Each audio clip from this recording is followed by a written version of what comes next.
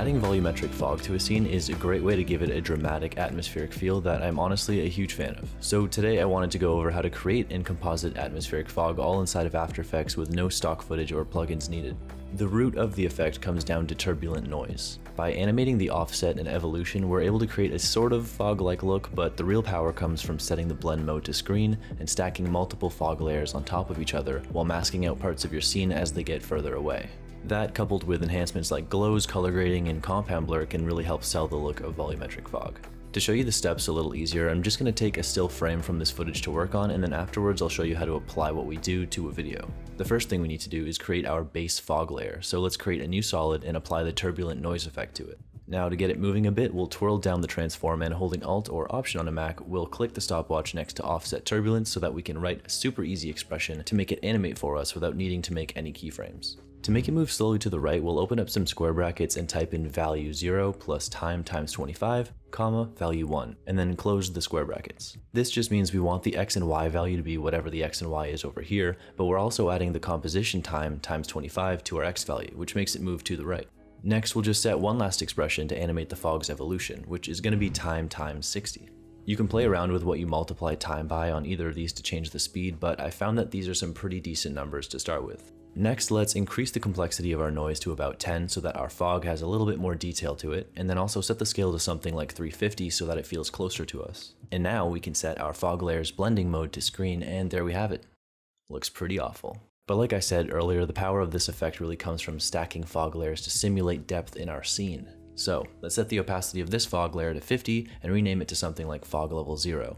Next, let's duplicate it to create fog level 1 and really get started on creating some volumetric fog. First, we have to change up some values on this layer like giving it a new seed in the evolution options. This just makes it generate a different pattern than our fog level 0 layer to keep things more organic. Next, we can lower the scale a bit to something like 300 to make it feel a little further away, and now let's get started on our first depth matte. Turning off both of our fog layers, create a new black solid, then toggle the visibility so that we can see what we're working on. Now basically our goal here is to make it black wherever we don't want fog level 1 to be. So for this photo, it's pretty easy to figure out where we'd want to make our different depth mattes. The first would be this house in front, the next would include the house on the right, and the last would include the walls of this fort over here. Now obviously footage where we can separate the objects based on distance with clean lines will be the easiest to work on, but don't forget that we can use multiple layers and masks to create our depth mattes, so even something like a street that goes into the distance can be done with some mask feathering. Back to our example, I'll just make my way around this house with a pen tool, and then when I'm done, just toggle the visibility back on. Now, whether it takes you multiple layers or you can just get it done in one, we have to pre-compose all of the matte layers, or layer, move all attributes, and name it matte level 1. I'll also copy my footage into this comp as well so that if we need to make changes to the matte, we can just turn the footage layer back on and make our changes easily. Next, we have to make everything white where we want fog to exist, so go ahead and create another new solid, make it white, place it above your matte layers, and then set its blending mode to multiply. The reason we're doing it this way, instead of just placing the white solid underneath the matte layers, is so that we have the option to fine tune where we want fog to show up using a gradient ramp. For example, if we wanted the fog to fade out as it nears the bottom of frame, we could just adjust the gradient like this. White means fog will be there, black means no fog. Now getting rid of that example gradient, I'll just hop back to the main comp, make sure that matte level 1 is above fog level 1, and then set fog level 1's track matte to Luma. And make sure that the fog layer is actually visible. Now, if I raise the opacity just so we can see a little better, you get the idea of what we're going for. And now to give us a full picture, I'll turn on fog level 0 as well, and then lower the opacity of fog level 1 back down a bit. With those two layers working together, we can see that it's starting to take form a little bit now. After creating a new black solid and masking out the building on the right here, I'll again right click it, pre-compose, name it matte level 2 and hit OK. But this time I'll head over to matte level 1, copy all the layers inside of it, and then paste them on top of the matte level 2 composition. Now is also a good time to set the matte layers of level 2 to a different color just so that we can tell them apart right away. In matte level 2, I want to include this tree on the left in the matte as well, but trees are really tough to mask out. Luckily for us though, it's framed against a bright background, so there's a good amount of contrast between the sky behind it and the tree itself. To get a much more accurate result, I'm going to go ahead and duplicate the footage and add levels to it. Using the input black, input white, and gamma handles, try to get the tree as black as possible and the sky as white as possible while still keeping as much detail in the tree as you can. After that, we'll just add a hue and saturation and then bring the saturation all the way down so that we have it in black and white. And finally, let's just create a rough mask around what we actually want to keep and we're golden. We've got a much more accurate mask of the tree than we could have possibly done by hand.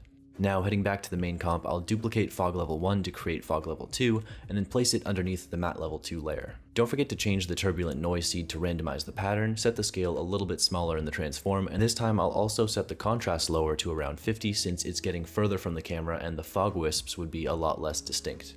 Now jumping ahead to matte level 3 where I'm masking out the fort's walls, on the right side of the fort there are a lot of little towers and spike things, so to save time and get a more accurate result we can do the exact same thing we did with the tree. I also noticed that these walls curve backwards away from camera, so in theory the edges would be a little bit foggier than the middle, which is closer to us. So a way to tackle that is to create another mask on the same layer and set it to subtract, feather it out a bunch, and also lower the mask's opacity itself to make it a little more subtle. Now after heading back to our main comp, duplicating fog level 2 to make level 3, randomizing the seed and adjusting the opacity of the fog levels, we're left with this. You can see a quick before and after by just duplicating your footage and dragging it to the top, and wow, that looks pretty alright. It's like not amazing, but it's it's decent, it's somewhere, it's coming along. Well, now is where the color grading and adjustments come in.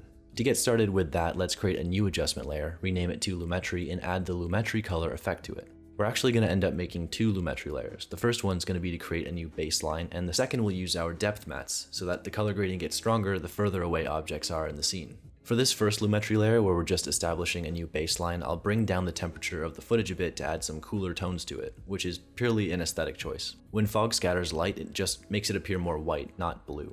Next, I'll lower the exposure by about 1, raise the contrast, and then lower both the highlights and the shadows. All this to just get my scene a bit darker because I think the footage is too bright for an overcast foggy vibe. Now to create our second Lumetri, let's select all of the fog and matte levels, duplicate them with Ctrl or Command D, and then pre-compose them into a new comp called Depth Matte. Then we can duplicate our Lumetri, rename it Depth Lumetri, and place that Depth Matte layer above it. Finally, set the Depth Lumetri's track matte to Luma Matte so that it gets applied based on the brightness of the matte and therefore gets stronger as the scene gets further away. I've recorded this line four times. I'll reset our duplicated Lumetri effect so that we have a clean slate and then raise both the highlights and the shadows so that it gets brighter and closer to white as the fog gets heavier in the distance. I'll also set the temperature to around negative 20 to make it cooler in the distance, again just for aesthetic reasons, and the last thing we'll do to it is lower the vibrance in the creative tab to around negative 30, because as fog gets thicker, it scatters more and more light, letting us see less color. To fine tune it a little more, we can toggle on the depth matte layer, solo it so we can see it more easily, and then apply the levels effect to it. And now we can fine tune and adjust it however we want. The brighter it is, the stronger the lumetri will be. Okay, next let's create a blur that uses our depth matte to recreate a bit of that haze you get from heavier fog. So just make a new adjustment layer, name it depth blur, and apply the compound blur effect to it. This is basically just a blur that uses a luma matte to figure out what to blur and what not to blur. So we can set the blur layer to the depth matte, and then we can either leave it set to source, meaning just use the depth matte as is, or change it to effects and masks, so that the levels we applied to the depth matte gets factored in as well. Finally, I'll just lower the blur to about 0.5 to keep it subtle. Next up, let's create another adjustment layer, rename it to levels, and then apply the wave warp effect to it. Haha, get pranked we're just going to apply levels to it. Here, all I'm going to do is lower the output white and then raise the input black a bit. Alright, so now things are looking pretty good, but there's still one last piece of the puzzle that will help us take it up a notch. Glows. And just like we layered fog to give a more convincing effect, we're going to layer some glows on as well. Let's make a new adjustment layer, name it glow 1, and move it below our lumetri layers. Next, change the glow operation to none, the glow colors to A and B, and we'll need to hide all of our adjustment layers above this so that the A and B colors we pick aren't influenced by any of the color grading. Once they're all disabled, just use the eyedropper and grab the color of the sky. Then you can get the B color quickly by just sampling the A color. And after that, just re-enable all of the adjustment layers above. Now for this first glow layer, all we want to do is get a very subtle edge glow. So set the radius to about 30, the intensity to about 0.2, and then play with the threshold until it looks right to you. Next, I'll duplicate that glow on the same layer, increase the radius to about 50, and now we've got some pretty decent edge haze. To keep the glow active only on the parts we want, we can just make a simple feathered mask and we'll be good. Now for glows number 2 and 3. The purpose of these two glows are to emphasize the haze for things that are really tall or really far back in your scene. So make a copy of glow 1 and delete one of the glows from it. Increase the radius a bunch to like 200 and increase the intensity as well. Now we'll make a mask around the top of the fort walls and towers and increase the feather. Then just play with the threshold until you think it's good and then we'll get to our final glow. This last one is going to be for the things that we want almost completely lost in the fog. So for this example, I'll want to make the mask just the top of the main tower and maybe extend it to a bit of the other smaller towers on the right. Cranking the intensity up to 1, play with the radius and mask feather until you're happy. This is obviously going to be different depending on your footage, so I can't exactly give you hard numbers here, you just gotta play with it and see what looks good. Something else worth mentioning is that if you're happy with how the intensity threshold and radius play off of each other, but the glow is still too strong, you can always just lower the opacity of the layer. And now our volumetric fog should be looking pretty damn cool. So now just to quickly touch on how to apply this to a video, it's pretty straightforward, but depending on your footage might be time consuming. It's really as simple as animating our depth matte masks to track to our footage as best we can. A way to make it a lot easier for yourself is to try to get a solid camera track using the built-in 3D camera tracker so that the layers you add your masks to stick to the scene pretty well and you're just making small tweaks on the mask rather than full mask animation. Now to help a little bit with that, let me just go over a few tips on how to get some good camera track data out of the 3D camera tracker. First of all, if you've got something that's moving in your scene that'll confuse the camera tracker, like a person moving in the foreground or like a car moving in your scene, duplicate your footage, draw a loose mask around what's moving, set the mask to subtract, and then animate it to keep it covered. Then when you're done, you're going to need to pre-compose your footage before applying the 3D camera tracker to it again, but now that track won't be affected by whatever it was you're covering up. The next tip is to enable detailed analysis inside the advanced dropdown, which I'm sure a lot of you already know of. It'll take a little bit longer to track your footage, but it should give you some better overall track results. And now the last tip is if you still don't have a track you're happy with after enabling detailed analysis, you can scrub through your timeline and delete the points or groups of points that look jumpy or don't track well. After you get rid of a bunch of bad tracking points, you should have a much more accurate camera solve. Now, once you've got a decent camera track, select a couple points on or near the section you want to cover up with your depth mask, right click it, and create a new camera and solid. With the tracked solid here, it'll be a lot easier for us to mask out what we need to since we'll just need to tweak our masks over time instead of having to do all the work manually. One thing that's extremely important to remember though is do not just scale up that solid so that it covers all the space it needs to. If you do that, then when you go to create a mask, the edge is more than likely going to be feathered and unclean since it's attached to a scaled up solid.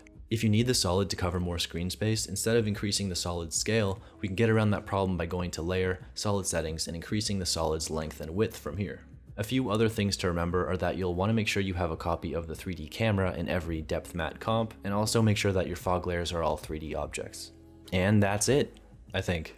Some general last pieces of advice would be to help yourself as much as you can by trying to shoot your video with the effect in mind. Meaning if you can get away with framing your shot without seeing the ground, it's going to be easier to make your depth mattes. Same with having buildings that just go out into the distance because they provide pretty easy clean lines for masks. If I were you, I'd also try to avoid trees since they're pretty hard to pull off, but if you really want them there, make sure you're helping yourself out by framing them against something like the sky to give it as much contrast as possible. One last thing that's pretty important is to film when it's overcast or not too sunny out if you can, because harsh shadows like this sort of contradict what we're going for and the shot might feel a bit off even if you didn't notice them until now. I didn't actually film this footage, otherwise I would have kept that in mind as well. This is just some stock footage that I found. And that's it. Hopefully by watching my process for making volumetric fog, it'll help you out on your own projects. And if you think of some better ways to do things, then by all means drop them in a comment down below so that I and other people can learn from you as well. Whoa, hey, you made it to the post-outro secret part of the video where I try to get you to subscribe and like it. Well, I feel like the fact that you made it this far into the video means you probably liked it, unless you were hate watching it for this long, which would be pretty impressive actually. In which case, yeah, even if you're hate watching, you should still subscribe because if you made it this far hate watching, you're probably going to want to hate watch all my next videos too. And while you're at it, you should enable notifications so that you can be the first to hate watch or love watch, either one.